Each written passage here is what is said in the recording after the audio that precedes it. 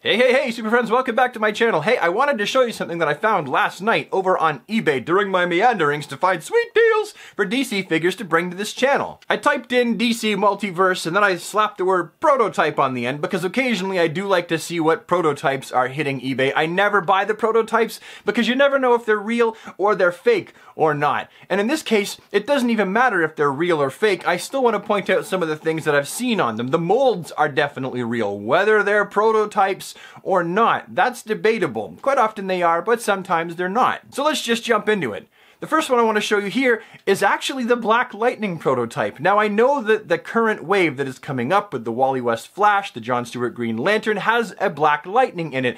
But currently up for pre-order, there's just a silhouette of what Black Lightning is going to look like. Well, it's now been revealed. I can actually see it with my own eyes, the basic sculpt, that it's going to be the television version of Black Lightning. Not exactly something I'm super excited about. I would have rather had a comic accurate Black Lightning, but it's a Black Lightning nonetheless. You can see that with this prototype they've gone with a black, a bright pinkish red, and then a beige for the hands, and then white for the kneecaps. And that he also comes with at least one that we can see here, lightning accessory that goes in his hand. Now remember, this is not the final product. You're not really going to get an idea of how cool or not cool the figure's going to look until you see the final sculpted in the proper colors and painted version of the figure. This is just the molds of the figure. But we do see that there is a ton of brand new sculpted detail on this figure. There's like pretty much nothing that has been old and reused which is very, very cool. Mattel went all out, it seems, and tooled a completely new figure. Odd that it was Black Lightning that was chose to be a retooled figure when he's not really a super popular character, when there are definitely other characters they probably could have retooled that could use brand new tooling, but nonetheless, it is still cool to see brand new tooling work in any figure that Mattel does, because quite often, as a lot of people complain about, there's just a lot of reused parts. I get why that happens. It's a cost saving measure, but there are definitely times when I absolutely wish that a certain detail here or there was sculpted on rather than just painted. So that's cool. And next up is the Wally West Flash figure, the legacy Wally West Flash, the one that they just killed off a few months ago. DC, Damn you! Sorry, getting emotional, getting ahead of myself. You might not actually be dead. You never know what's going on in comics. Moving on. They've used a plethora of colors in this.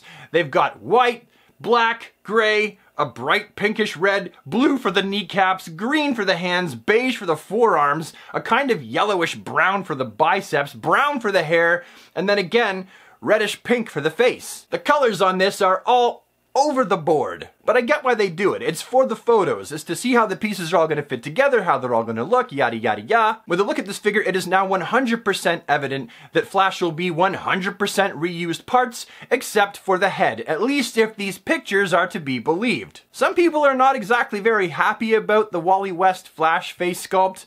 I say give it a chance. It actually looks pretty good. I think that it's going to look great once it's painted up. As long as all the paint stamping goes where it's supposed to, I think that it'll look pretty good. Not gonna lie, I do kind of wish that there were more sculpted details. Maybe the emblem on his chest, possibly the lightning bolts. Just having that head as a newly sculpted piece to me seems like they probably could have done something a little cooler. Again, at least with that chest emblem. Give us the lightning bolt as a sculpted detail. I'm always so conflicted. I understand why they don't do all the sculpted detail.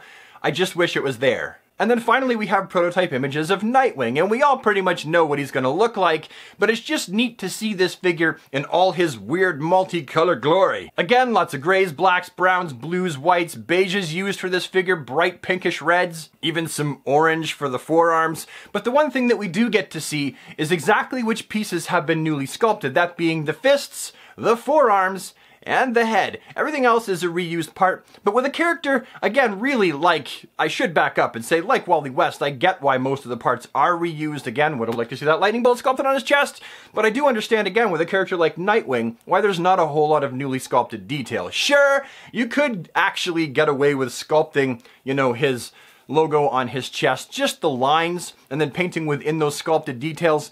But I get, I mean, really, you don't have to do that to pull off a reasonable Nightwing figure. You can just paint it on there and it looks just fine because his suit is just a skin tight suit. So I get it. Now looking at the boots, I'm not sure if these are newly sculpted detail. I'm not going to pull all of my multiverse figures out and have a look. They might be, they might not be. It really is in the end of no consequence. But the one thing is for sure is they're definitely not just the basic multiverse feet, the great big fat flipper feet that say Superman has. Mm, mm, mm.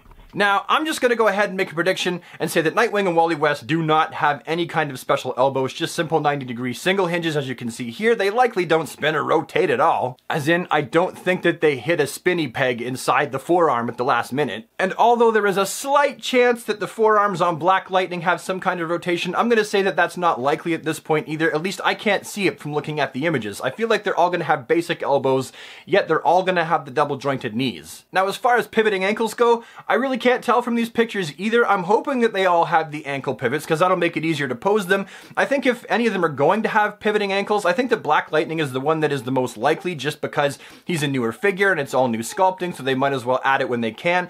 As for the Flash, I don't know because he really does look like he has the big, huge multiverse flipper feet, so he may or may not.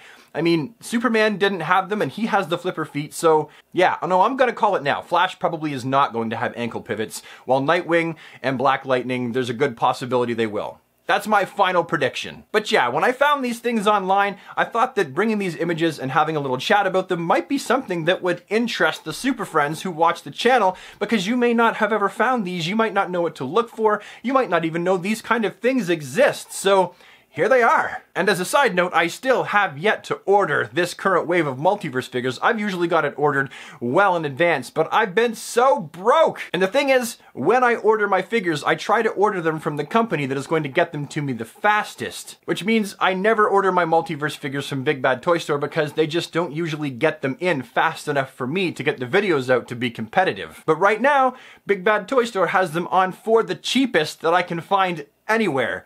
And money is really something that's tight right now. So I'm kind of stuck between a rock and a hard place. Get the reviews out late and pay a little bit less, pay a little bit more from my usual supplier, but then get the reviews up early. Channel's gotta grow, that's just the way it is.